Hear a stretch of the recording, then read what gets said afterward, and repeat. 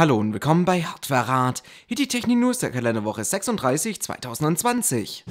Wird wahrscheinlich jeder von euch mitbekommen haben, Nvidia hat ihre 3090, 3080 und 3070 Grafikkarten vorgestellt, aber mir gibt es natürlich die News auch nochmal. Zusammengefasst ist es von Nvidia eigentlich gewesen so ein riesiges Fickt euch neue Konsolengeneration, ihr könnt eben nicht mit High-End-PCs mithalten. Sehr interessant ist auf jeden Fall, Nvidia wollte ja eigentlich die Grafikkarten in 7 Nanometer rausbringen, es wurde jetzt aber letztendlich der 8 Nanometer Samsung-Prozess. Der Grund dafür könnte sein, das was ich auch schon in einer der letzten News erwähnt hatte, dass AMD mittlerweile so viel von TSMC abnimmt, dass AMD der größte Abnehmer 2021 bei TSMC wird.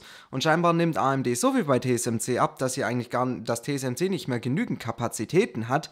Und so musste Nvidia vermutlich ausweichen auf Samsung. Vielleicht wollte TSMC aber auch einfach nur so viel Geld haben, weil sie sich erlauben können, dass sie ja eh AMD jetzt als gewaltigen Abnehmer haben. Man geht aber auf jeden Fall davon aus, dass es mit AMD zusammenhängt, dass sich Nvidia jetzt für Samsung entscheiden musste, weil so geplant war es auf jeden Fall nicht. Nvidia hat mit der neuen Architektur ihre Shader deutlich mehr abgeändert, so hat man viel mehr auf einem Chip. Daraus resultiert, dass die neuen Karten eine brachiale Rechenleistung haben. Die Leistung pro Takt bzw. pro G-Flop ist aber gefallen, das wird allerdings mehr als ausgeglichen, dadurch dass man halt deutlich mehr Rechenpower hat. Die RTX 3090, das Flaggschiff, hat 10.496 Shade-Einheiten, die 3080 8.704 Shade-Einheiten und die 3070 5.888 Shade-Einheiten. Die 3070 hat einen Boosttakt von 1037 MHz und damit 20,4 Teraflops FP32 Leistung. Die RTX 2080 Ti, die alte Generation, hatte noch 4352 Shader bei 13,4 Teraflops. Trotzdem soll die 3070 nur in Anführungsstrichen so stark sein wie die 2080 Ti, dann sieht man schon, dass die Leistung pro Takt im Allgemeinen etwas abgefallen ist. Die RTX 3080 hat 29,8 Teraflops und die 3090 35,7 Teraflops. Die 3090 soll 1499 Euro kosten, die 3080 699 Euro, die 3070 499 Euro. Also das heißt Dollarpreis gleich Europreis, es liegt daran, weil der Dollar gerade relativ schwach ist und deswegen werden die Karten so angeboten. Allerdings gilt es erstmal nur für die Founders Edition. Die Custom-Karten können natürlich teurer sein. Dafür kommt die große 3090 auch direkt mit 24 GB GDDR6X Speicher her, die 3080 mit 10 GB und die 3070 mit 8 GB. Die 3080 kommen am 17. September, die 3090 am 24. September und die 3070 irgendwann im Oktober. Gilt allerdings hier auch wieder nur für die Founders Edition. Die Herstellerkarten ähm, können, sind ein bisschen variabel. Viele Hersteller haben gesagt, irgendwann September. Manche kommen auch schon direkt zu Release, manche kommen sogar auch erst im Oktober. Und so wie ich es bisher mitbekommen habe, sehen die Lagerbestände nicht allzu gut aus. Man kann also schon mal davon ausgehen, die sind am Anfang relativ ausverkauft. Was neu zu den Grafikkarten dazukommt, ist HDMI 2.1. Außerdem sind bei den Founders Edition jetzt der neue 12-Pin-Stromanschluss mit dran. Bei den meisten oder bisher bei fast allen Custom-Karten, die ich gesehen habe, wird weiterhin einfach die normalen 8-Pin-Anschlüsse benutzt. Insgesamt überzeugen die Karten aber sehr. Die Performance pro Watt ist rasant gestiegen, beziehungsweise so gestiegen, wie man es eigentlich auch schon vorher durch Leaks erwartet hat. Das Einzige, was fehlt, ist, man ist ja davon ausgegangen, dass sie die 3080 und 3070 auch mit doppelten Speicher gibt.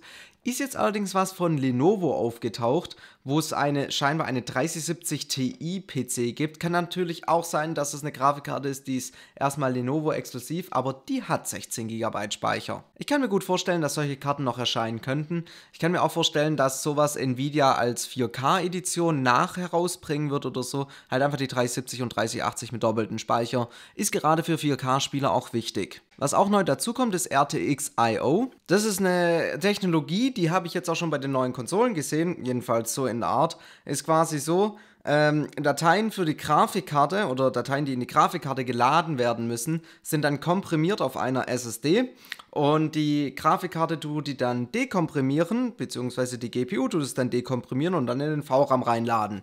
Ne? Also quasi ähm, es ist quasi dafür da, wenn Zeug halt nachgeladen werden muss und durch die Komprimierung, die die GPU danach dekomprimiert, tut man quasi seine SSD-Geschwindigkeit so gesehen verdoppeln und so kann man viel schneller Spiele laden. So ganz vereinfacht gesagt. Die neuen Konsolen haben dafür halt einen extra Chip, Nvidia macht es dann halt auf der Grafikkarte. Aber was macht denn gerade AMD? AMD hat einen Umsatz gehabt im letzten Quartal von 1,93 Milliarden. Das ist 26 Prozent mehr als im Vorjahr. Ist schon mal gut. Aber was macht AMD sonst noch? Ja, sie haben Lieferschwierigkeiten. Mal wieder. Und diesmal betrifft es mehr als nur einen Prozessor. Hierbei haben sie Lieferschwierigkeiten beim Ryzen 3 3200G, Ryzen 5 3600, 3600X, 3700X. Beim 3800X bin ich mir nicht so ganz sicher. Ähm, aber insgesamt sind die Prozessoren bei Großhändlern ziemlich leer gefegt. Endkundenhändler haben sehr oft noch, aber viele mussten schon auf jeden Fall die Preise nach oben anpassen. Was gibt es in Hülle und Fülle? Ja, die XT-Prozessoren. Ah, die möchte ja keiner haben. Ähm, es war wohl ein ziemlicher Fail von AMD. Vielleicht liegt es auch vielleicht ist das auch ein Grund, wieso es jetzt bei, bei den jetzigen Lieferprobleme gibt, weil sie haben gedacht, bei den XT-Prozessoren, vielleicht möchten das ein paar mehr Leute haben, ein bisschen mehr Single-Core-Leistung und haben gedacht, ja, da, wird, da werden die Verkäufe vom 3.6 und 3.6X und so weiter ein bisschen runtergehen. Vielleicht hat sich der AMD verkalkuliert, keine Ahnung. Jedenfalls kommt man gerade richtig schlecht an Prozessoren ran.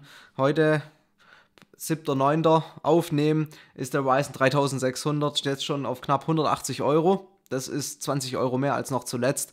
Ja, den 37X wird es auch bald treffen. Also wer einen 37X braucht, ich würde ihn jetzt nehmen. Ubisoft hat ein bisschen über die PlayStation 5 geplaudert und viele Leute feiern ja Abwärtskompatibilität. Bei der PlayStation 5 wird es scheinbar nur bei der PlayStation 4 bleiben. PlayStation 3, 2 und 1 Spiele werden wohl nicht abspielbar sein auf der neuen PlayStation. Auf der neuen Xbox soll es aber besser aussehen. Dass die Xbox One Spiele drauf laufen sollen, ist ja schon länger klar und diese sollen auch ohne Probleme oder sonstiges direkt abspielbar sein. Die meisten Xbox und Xbox 360 Spiele sollen aber auch drauf laufen. Die älteren Spiele laufen hierbei mit Hilfe eines Emulators. Da die neue Xbox aber mehr als genügend Leistung hat, bekommt der Spieler davon wenig mit. Sony zertifiziert jetzt aber auch Fernseher, die gut sein sollen für die neue PlayStation. Es soll heißen, bereit für PlayStation 5 und soll Käufern dabei helfen, wenn sich einen neuen Fernseher extra für die neue Konsole kaufen, einen richtigen Fernseher auszuwählen. Dafür hat Sony eine eigene Website geschaltet, die einen Überblick über die entsprechenden Geräte geben soll. Welche Voraussetzungen allerdings ein Fernseher hat, um dieses Siegel zu bekommen, ist nicht klar. Es kommen ja immer mehr Fernseher heraus, extra für Konsolenspieler, die auf Gaming optimiert sind. Früher war das ja ein Riesenproblem, wenn man auf der Konsole E-Sport technisch spielen wollte, dann musste man eigentlich zwangsweise auf einen PC-Monitor spielen, da normale Fernseher einfach nicht dafür gedacht sind bzw. zu lahm waren. Fernseher, die von Datenblättern zwar ziemlich gut waren, hatten trotzdem oft einen ziemlich hohen Input-Lag bzw. einfach eine Verzögerung. Die E-Sport-Titel, naja, man hatte halt Nachteile. Das war's dann aber auch mit den Tech-News für diese Woche. Ich hoffe, das Video hat euch gefallen. Hier noch ein bisschen Eigenwerbung für mich. Ich streame des Öfteren auf Twitch, mache da PC-Hardware-Fragen und Antworten-Streams twitch.tv slash hardwarerat, Link auch nochmal in der Videobeschreibung. Würde mich freuen, wenn ihr mir ein Follow da lasst und beim nächsten Stream auch wieder mit dabei seid. Dann bis zum nächsten Video.